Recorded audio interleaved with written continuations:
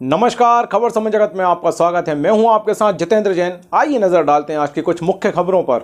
जबलपुर। जबलपुर में मुख्यमंत्री शिवराज सिंह चौहान शनिवार को एक दिवसीय दौरे पर जबलपुर पहुँचे। सीएम ने भारतीय जनता पार्टी के राष्ट्रीय अध्यक्ष जेपी नड्डा के ससुर की प्रतिमा का अनावरण किया। इसके बाद वृक्षारोपण भी सीएम ने किया। इस कार्यक्रम में सीएम के साथ भारतीय जनता पार्टी के प्रदेश अध्यक्ष और सांसद वीडी शर्मा, केंद्रीय मंत्री प्रहलाद सिंह पटेल, कृषि मंत्री कमल पटेल भी मौजूद रहे। प्रतिमा का अनावरण करने के बाद सीएम स्वर्गीय बनर्जी के संगोष्ठी कार्यक्रम में शामिल हुए।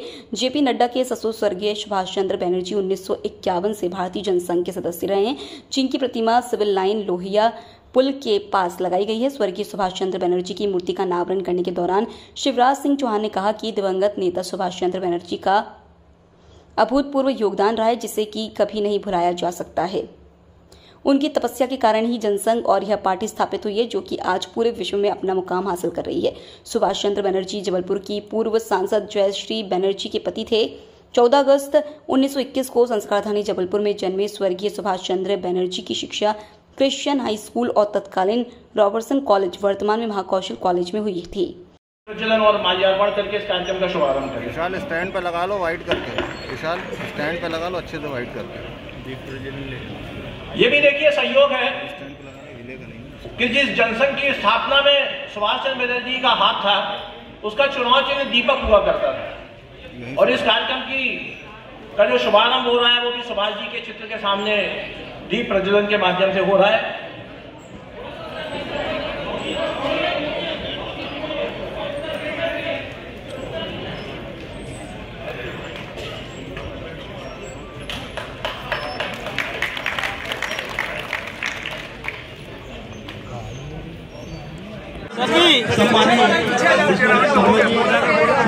माता जी माता जी भैया भैया। श्रीमती सुमित्रा बाई भैया भाई भाई बैठ जाओ बैठ जाओ सामने से हट जाओ। हमारे कमल पटेल जी। मध्य प्रदेश शासन के मंत्री कमल पटेल जी।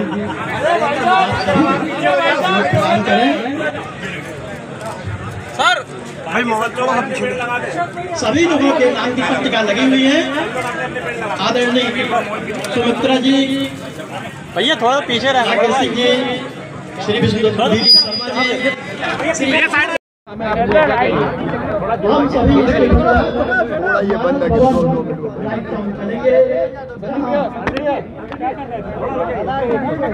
स्वर्गीय सुभाष जी,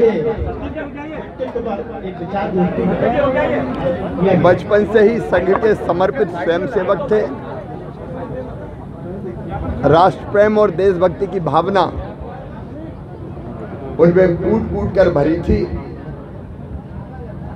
संघ के संस्कारों से युक्त होकर दस साल उन्होंने प्रचारक के नाते काम किया और बाद में दीनदयाल, पंडित दीनदयाल जी उपाध्याय के मार्गदर्शन में, महाकौशल में भारतीय जनसंघ की स्थापना की। भारतीय जनसंघ के संगठन का महाकौशल में विस्तार करने में उनका अतुलनीय योगदान है।